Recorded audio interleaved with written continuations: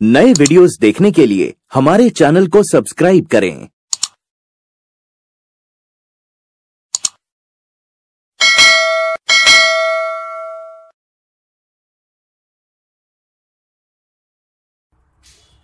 કેમ છો વાલા વિદ્યાર્થી મિત્રો આજે આપણે ભણીશું ધોરણ ચારમાં ધોરણ ચાર વિષય ગુજરાતી કુહુ વિષય ગુજરાતી કુહુ પાઠ નવ કમળ જળ કમળ જળ કમળ જળ કમળ જળ. એનો ભાગ ચાર. કયો છે આપણો આ? ભાગ ચાર. ખાસ ધ્યાન રાખજો, આ ભાગ ચારમાં આપણી સ્વાપોથીમાં જોવાનું. ચોપડીમાં આપણી દરેક પ્રવૃત્તિ સમજ્યા, એનું લેસન પણ લીધું, બે કવિતાઓ અને લગભગ સરખા. એટલું આપણે પાકી નોટમાં લખ્યું. અને હવે આપણે ભાગ ચાર એ સ્વાપોથીમાં છે. જે હું તમને સ્વાપોથીમાં આપણે જેમ ભરતા હતા એ રીતે સરસ આ રીતે છૂટા છૂટા અક્ષરે લખવાનું છે. હું બોલીશ ને તમે લખશો કે જોઈ જોઈને લખશો. તમારે જે કરવું હોય તેમ. તમને તો બોલીને લખાવું છું એટલે તમને બધાને વ્યવસ્થિત રીતે લખતા શીખી ગયા છો. તો હું જવાબ બોલતી જાઉં અને તમે લખતા જજો. જોઈને ન ફાવે એ અક્ષર જ જોજો. બાકી તમે બોલી બોલીને હું લખાવું છું એ તમે જોજો. સ્વપોથીમાં ભરવાનું છે. સરસ અક્ષરે લખજો, તમને ખબર છે ને, ખોટ જોડણીમાં ભૂલ હશે તો ગોળ કરવાનું થશે. જ્યારે તમારી હું સ્વાપોથી ચેક કરીશ, ત્યારે તેમાં તમારે લખ્યું હશે કે જોડણીની ભૂલ એવો તમારે ફરિયાદ થશે. એના કરતાં વ્યવસ્થિત જોજો અને શાંતિથી લખજો. તો ચલો જોઈએ પહેલો પ્રશ્ન એક છે. શું છે? પ્રશ્ન એક. એક એક વાક્યમાં ઉત્તર લખવાના છે દરેકના. એમાં અવ, એમાં પહેલું છે ગોપીઓ કોને ફરિયાદ કરે છે? આ બધા સવાલ જવાબ મેં તમને ચોપડી ચાલવી હતી. ત્યાં હતા, એમાં મેં સમજાવેલું છે, દરેક પ્રવૃત્તિ સ્વપોથીમાં આવશે. એ દરેક પ્રવૃત્તિ મેં ચોપડીમાંથી તમને સમજાવી હતી. એટલે ચોપડીમાં પણ સમજાવી અને સ્વપોથીમાં પણ સમજાવી. એટલે તમારે બે વખત થશે. કેટલી વખત? બે વખત થશે. એટલે તમને વાંચશો કે નહીં વાંચો તો પણ તમને આવડી જશે. તો એકદમ ધ્યાનથી આ ભાગ ચારનો વીડિયો જોજો. ગોપીઓ કોને ફરિયાદ કરે છે? જવાબ લખીશું. ગોપીઓ યશોદાને ફરિયાદ કરે છે. લખો જવાબ, વિદ્યાર્થી મિત્રો. આ રીતે સરસ છૂટું છૂટું અક્ષરે લખજો. બીજો સવાલ વાંચીએ.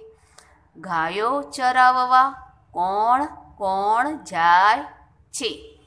ગાયો ચરાવવા કૃષ્ણ અને બલભદ્ર જાય છે. ખાસ ધ્યાન રાખવાનું જવાબમાં બલભદ્ર.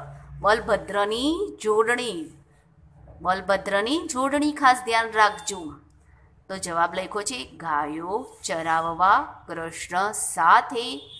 એટલે કે કૃષ્ણ અને બલભદ્ર જાય છે. ત્રીજો જોઈએ, યશોદા કાબરો શબ્દ કોના માટે વાપરે છે? કેમ? કાબરો ખબર છે ને?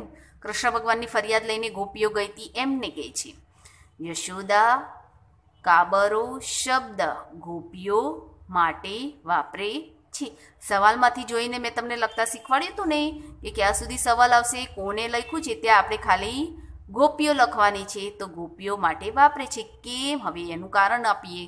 કારણ કે ગોપીઓ યશોદાના દીકરા કૃષ્ણ પર ખોટું આળ લગાવે છે કે નામ, ઇલ્ઝામ આપણે કહીએ ને કે એનું નામ દે છે કે ખોટું કામ કર્યું છે એમ.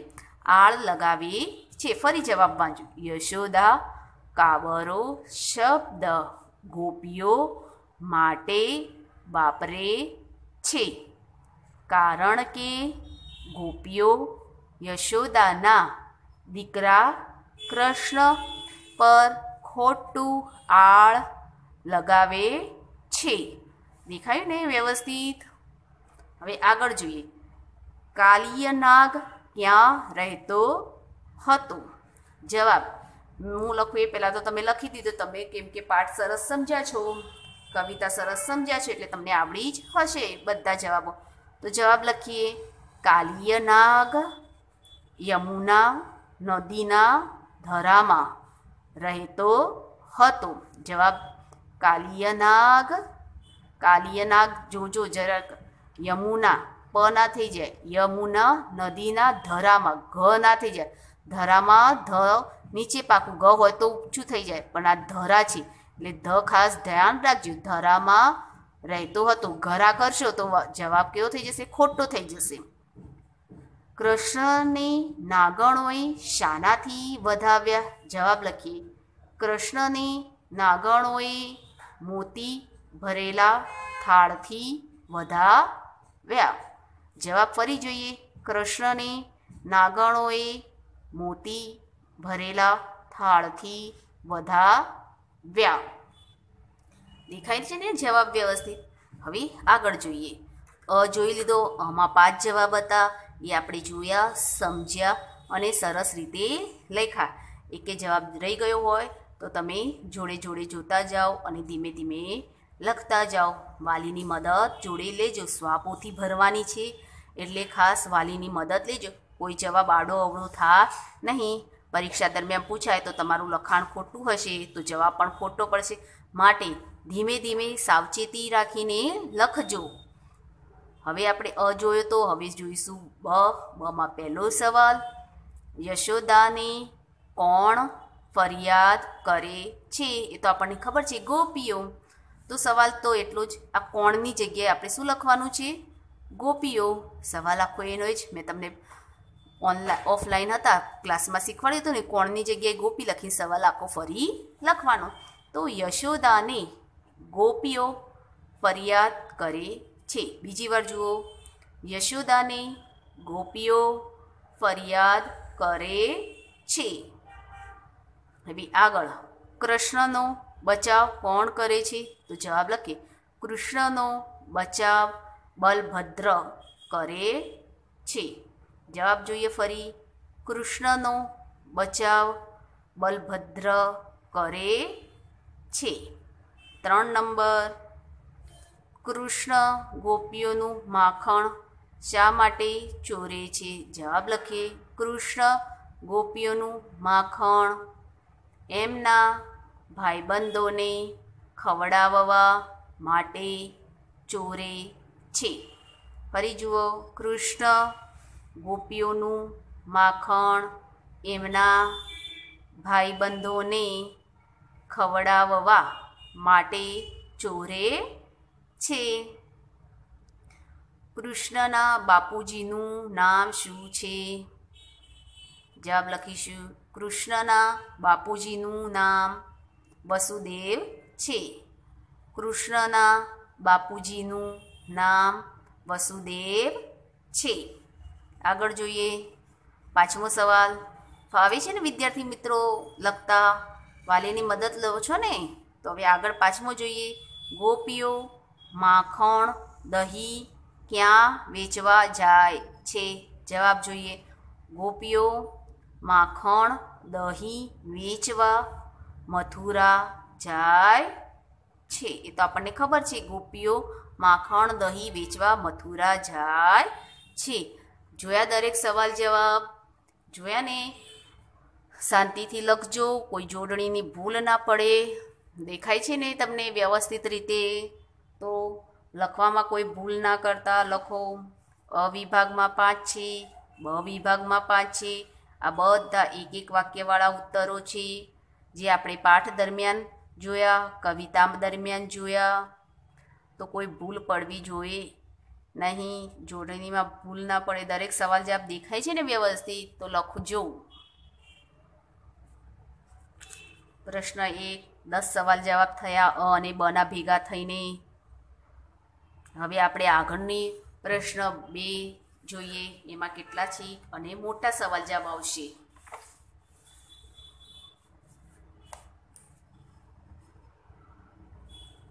હવે જોઈએ પ્રશ્ન બે. નીચેના પ્રશ્નોના બે, ત્રણ વાક્યમાં ઉત્તર લખો. મોટા મોટા છે, ભૂલ ના થાય એની ખાસ ધ્યાન રાખજો. ચલો જોઈએ પહેલો અ. અમાં માત્ર એક જ છે. ગોપીઓ કૃષ્ણની ફરિયાદ શા માટે કરે છે? ચલો જવાબ આપણે શું આપશે જોઈએ? ગોપીઓ કૃષ્ણની, કૃષ્ણ કૃષ્ણની ફરિયાદ કરે છે. કારણ કે કૃષ્ણ કાંકરા મારીને ગોપીઓની માખણની મટુકીઓ ફોડી નાખે છે. એટલું જ નહીં, તેમના ઘરે શિકામાં રાખેલું દહીં અને માખણ પણ ખાઈ જાય છે. જોયો ને સવાલનો જવાબ ફરી વાંચું. ગોપીઓ કૃષ્ણનું ફરિયાદ, કૃષ્ણની ફરિયાદ કરે છે કારણ કે કૃષ્ણ કાકરા મારીને ગોપીઓની માખણની મટુકીઓ ફોડી નાખે છે. એટલું જ નહીં, તેમના ઘરે શિકામાં રાખેલું દહીં અને માખણ પણ ખાઈ જાય છે. આગળ જોઈએ. કૃષ્ણને સમજાવવા ગોવાળિયાઓએ શું શું કર્યું? આ સવાલનો જવાબ તમને ખબર છે? સવાલ ક્યાં આવતો હતો? ચોપડીમાં. ચોપડીમાં પેલો એક પગે ઊભા રહીને આટા મારવાનું આંટી મારીને કહ્યું હતું ને, એ જવાબમાં આવતો હતો. આંટી મારીને કીધું હતું ને, એમાં આવતો હતો પાના નંબર એકસો પાસઠ ઉપર. પાના નંબર એકસો પાસઠ ઉપર મેં કહ્યું હતું ને, સ્વાપોથીમાંથી શીખવાડીશ, એ જવાબ છે. તો ચલો જોઈએ. કૃષ્ણને સમજાવવા ગોવાળિયાઓએ શું શું કર્યું? જવાબ લખીએ. કૃષ્ણને સમજાવવા ગોવાળિયાઓ અંદરો અંદર ઘણ ઘણાટ કર્યું. એકે કહ્યું, આ રીતે અવતરણ ચિહ્ન કરજો. ખાસ ધ્યાન રાખજો. કૃષ્ણને જવું પડે. તેમાં તેના જીવનું જોખમ છે. એક મિત્રએ કહ્યું, કાલે પછી આ રીતે અવતરણ ચિહ્ન બંધ કરવાનું. એક મિત્રએ કહ્યું, કાલે કાનુડો, નવો દડો લેતો આવ. આ દડો ભલે કાલિય નાગના ઘરે રહ્યો. અવતરણ ચિહ્ન બંધ. પછી આગળ કેટલાકે કહ્યું, પાછું અવતરણ ચિહ્ન. કનૈયાના જીવને જોખમમાં ન મુકાય. અવતરણ ચિહ્ન બંધ. પાછું સૌ કૃષ્ણને ગમે તેમ કરીને ઊંડા ધરામાં ઘરા નથી ધરામાં જતા, રોકવા ઈચ્છતા હતા. જોયો જવાબ, ફરી બોલું છું. કૃષ્ણને સમજાવવા ગોવાળિયાઓ અંદરો અંદર ગણગણાટ કર્યો. એકે કહ્યું, કૃષ્ણને જવું પડે. તેમાં તેના જીવનું જોખમ છે. એક મિત્રએ કહ્યું, કાલે કાનુડો, નવો, દડો, લેતો, આવ. આ દડો ભલે કાલ્ય નાગના ઘરે રહે. કેટલાકે કહ્યું, કનૈયાના જીવને જોખમમાં ન મુકાય. સૌ કૃષ્ણને ગમે તેમ કરીને ઊંડા ધરામાં જતા રોકવા ઈચ્છતા હોતા. આ રીતે મોટો જવાબ છે. વ્યવસ્થિત રીતે લખજો ભૂલ ન પડવી જોઈએ. ચલો બીજા બીજો સવાલ જોઈએ. કાલિય નાગ વિશે બે, ત્રણ વાક્ય લખો. જવાબ લખીશું. કાલિય નાગ યમુના નદીના ઊંડા ધરામાં રહેતો હતો. તેના ઝેરથી તે નદીનું પાણી ઝેરી થઈ ગયું હતું. હું ધીમે ધીમે બોલું છું, તમે જોડે જોડે લખતા જજો. તે ખૂબ બળવાન હતો. કોણ? નાગદાદા. તેની હજારો ફેણો, વાદળની ગર્જનાની જેમ હુંફાળા મારતી હતી. એક ખાસ ધ્યાન રાખજો. જેમ મેં છૂટું લખ્યું છે બે જો, શબ્દો વચ્ચે, અક્ષરો વચ્ચે, શબ્દો કોને કહેવાય ખબર છે ને? શીખવાડ્યું તું શબ્દો, અક્ષરો ભેગા બનીને શબ્દો થાય. શબ્દો ભેગા મળીને વાક્ય થાય. વાક્ય ભેગા બનીને ફકરો ફકરા ભેગા મળીને પાઠ બને. એ બધું શીખવ્યું હતું ને? એમ રીતે અક્ષરો વચ્ચે અને શબ્દો વચ્ચે જગ્યા રાખજો. ચલો ફરી હું જવાબ વાંચું. કાલીય નાગ, યમુના, નદીના, ઊંડા ધરામાં રહેતો હતો. તેના ઝેરથી તે નદીનું પાણી ઝેરી થઈ ગયું હતું. તે ખૂબ બળવાન હતો. તેની હજારો ફેણો વાદળની ગર્જનાની જેમ ફૂંફાડા મારતી હતી. લખાયો વિદ્યાર્થી મિત્રો આગળ જોઈએ ત્રણ. નાગણે કૃષ્ણને પાછા મોકલવા શું શું કર્યું? જવાબ લખીશું. નાગણે કૃષ્ણને પાછા મોકલવા માટે નાગનો ડર બતાવ્યો. પછી પોતાનો સવા લાખનો હાર આપવાની લાલચ પણ આપી તેના રૂપ, રંગના વખાણ પણ કર્યા. લખ્યો, વિદ્યાર્થી મિત્રો, સરસ રીતે. ચલો જોઈએ ફરી જવાબ. ફાવે છે ને જવાબ લખતા? મેં તમને બોલીને લખતા શીખવાડી દીધા તે એકદમ સરસ રીતે. તો આપણે ઘરે ખાસ પ્રેક્ટિસ પણ કરતા રહેવાનું છે, હો. જ્યારે સ્કૂલમાં આવો ત્યારે હું તમને ખબર છે, સ્પીડમાં બોલીને લખાવીશ. એમ કહ્યું હતું ને, આપણે બનવાનું છે ને, નંબર વન. ફટાફટ લખી શકે એવા ભણવામાં હોશિયાર. તો ચલો આગળ જોઈએ. ફરી જવાબ. નાગણે, કૃષ્ણને, પાછા મોકલવા માટે નાગનો ડર બતાવ્યો. પછી પોતાનો સવા લાખનો હાર આપવાની લાલચ પણ આપી. તેના રૂપ, રંગના વખાણ પણ કર્યા. જોયા, પ્રશ્ન બેમાં એક જ સવાલ હતો. હવે પ્રશ્ન બે અમાં એક જ હતો. પ્રશ્ન બેમાં એક, બે અને ત્રણ. એક, બે અને ત્રણ જવાબ જોયા. તમે જુઓ, લખો.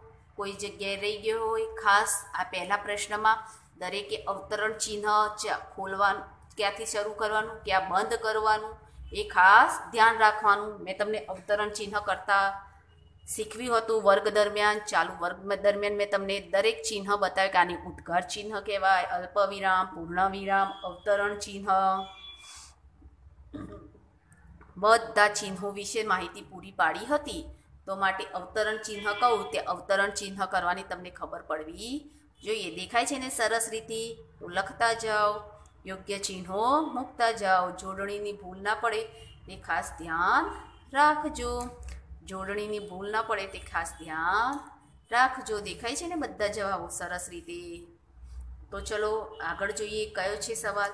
ત્રીજો જોયો. હવે આપણે પ્રશ્ન બે બમાં. સવાલ નંબર ચાર જોઈએ. શું છે સવાલ નંબર ચાર?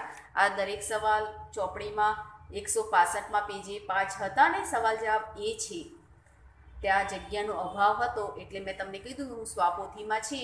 એટલે તમને સ્વાપોથીમાં શીખવાડીશ.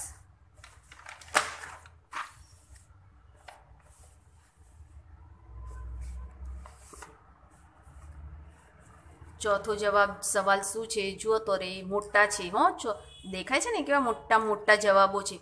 પરીક્ષા દરમિયાન ત્રણ ત્રણ માર્ક્સના પૂછાય, કઈ શબ્દ રહી ન જાય, કોઈ જોડણીમાં ભૂલ ના પડે. તેની ખાસ ધ્યાન રાખજો. તો ચોથો જવાબ જોઈએ આપ, સવાલ જોઈએ. પહેલાં નાગ અને કૃષ્ણના યુદ્ધ વિશે લખવાનું. નાગ અને કૃષ્ણ કેવા લડ્યા હતા પાણીમાં? એ આપણે એના વિશે લખવાનું છે. દેખાય છે ને વ્યવસ્થિત? કોઈ શબ્દ રહીને ન જાય, ખાસ ધ્યાન રાખજો. નાગણે નાગના પગ દબાવીને જ્યારે કૃષ્ણ ભગવાન અંદર નદીમાં ઝંપલાવ્યું ડાઈ મારી, કૂદકો માર્યો. ત્યારે નાગદાદા સૂતા હતા. ત્યારે પછી શું એમની પત્ની નાગણે એમને પગ મારીને, પગ દબાવીને હલાવ્યા હતા ને? પગ દબાવીને અને મૂછ મરડીને કાલિય નાગને જગાડ્યો. પછી બંને બળિયા, એટલે બંને ફાઇટરો બંને લડૈયાઓ, લડવૈયા, બંને બળિયા બાથે વળગ્યા. બંને હિંમતવાળા હતા. નાગદાદા પણ કાલીય નાગ પણ હિંમતવાર હતો અને કૃષ્ણ ભગવાન તો હતા જ. નાગની હજારો ફેણો આકાશમાં, વાદળોની ગર્જનાની જેમ હૂંફાળા મારતી હતી. છેવટે કૃષ્ણે કાલીય નાગને નાથ્યો અંતે નાગણો નાગને છોડી મૂકવા માટે કૃષ્ણને વિનંતી કરવા લાગી જોઈ જવા ઘણો મોટો છે હે ને? ફરી વાંચું. નાગણે, નાગના, પગ, દબાવીને, અને મૂછ, મરડીને, કાલિય, નાગને જગાડ્યો. મારે બોલવા જેવું છે જ નહીં.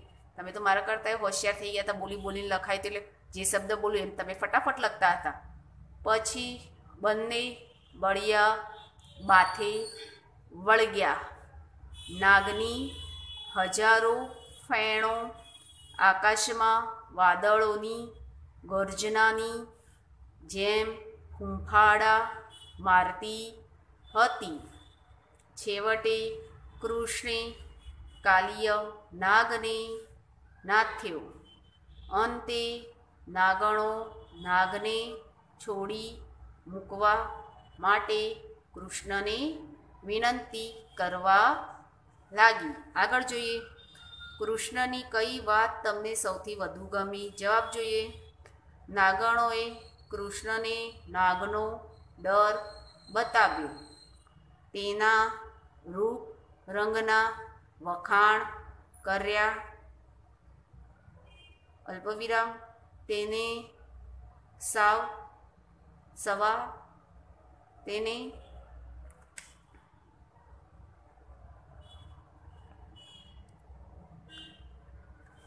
તેને સવા લાખનો હાર આપવાની લાલચ આપી. આમ છતાં કૃષ્ણ યમુના નદીના ધરામાંથી પાછા ન ફર્યા.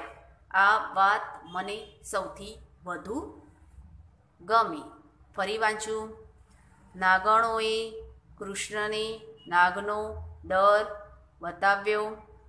તેના રૂપરંગના વખાણ કર્યા તેને સવા લાખનો હાર આપવાની લાલચ આપી. આમ છતાં કૃષ્ણ યમુના નદીના ધરામાંથી પાછા ન ફર્યા. આ વાત મને સૌથી વધુ ગમી. બ પૂરો થયો. હવે આવ્યો ક. પ્રશ્ન બે ક. પ્રશ્ન બે ક. એક નંબર. ગોકુળ ગામના છોકરાઓ જંગલમાં ગાયો ચરતી હોય ત્યારે શું કરતા? જવાબ લખીશું આપણે. જંગલમાં ગાયો ચરતી હોય ત્યારે ગોકુળ ગામના છોકરાઓ ભેગા બેસીને જાત જાતની વાતો કરતા ઘરેથી લાવેલું ભાથું ભાથું એટલે લંચ કહીએ ને આપણે બપોરનું જમવાની. ભાથું વહેંચીને ખાતા અને મજા કરતા. ક્યારેય ક્યારેક યમુનાને કાંઠે જુદી જુદી રમતો પણ રમતા. કહો પડી જવાબ? ફરી બીજી વખત વાંચું. જંગલમાં ગાયો ચરતી હોય ત્યારે ગોકુળ ગામના છોકરાઓ ભેગા બેસીને જાત જાતની વાતો કરતા ઘરેથી લાવેલું ભાથું વહેંચીને ખાતા અને મજા કરતા ક્યારેક યમુનાને કાંઠે જુદી જુદી રમતો પણ રમતા. આ રીતે પહેલો જવાબ પૂરો થયો. જોઈએ વિદ્યાર્થી મિત્રો, બીજો કનો. સૌ ભેરુઓએ રમતોનો શો નિયમ બનાવ્યો હતો. શા માટે જે રખે? રમતા હતા ને એ. સૌ ભેરુઓએ રમતનો એવો નિયમ બનાવ્યો હતો સવાલમાંથી એ જે કોઈ ખેલાડીને લીધે દડો નદીમાં જાય, એ જ ખેલાડીએ દડો લઈ આવવાનો. કાલીય નાગની બીકને લીધે તેઓએ આ નિયમ બનાવ્યો હતો. ફરી સૌ ભેરુઓએ રમતનો એવો નિયમ બનાવ્યો હતો કે જે કોઈ ખેલાડીને લીધે દડો નદીમાં જાય, એ જ ખેલાડીએ દડો લઈ આવવાનો. કાલિય નાગની બીકને લીધે તેઓએ આ નિયમ બનાવ્યો હતો. તો વાલા વિદ્યાર્થી મિત્રો, અહીં તમે પ્રશ્ન એક અને પ્રશ્ન બેના સવાલ જવાબ જોયા અને જોડે જોડે લખતા રહ્યા. તો અહીં આ આપણો ભાગ પૂરો થાય છે. અહીં આપણો ભાગ પૂરો થાય છે. તો હવે આ ભાગનું આપણે હોમવર્ક મેળવી લઈએ, ગૃહ કાર્ય મેળવી લઈએ. આપણે ગુજરાતીની નોટમાં, તમને ખબર છે, હું શું શું લેસન આપું છું એ તો. ગુજરાતીની નોટમાં પ્રશ્ન એક, આખું પેજના દરેક સવાલ જવાબ, પ્રશ્ન એકના ઉપર એક અ અને બ, આખો. અને પ્રશ્ન બે, અ, બ.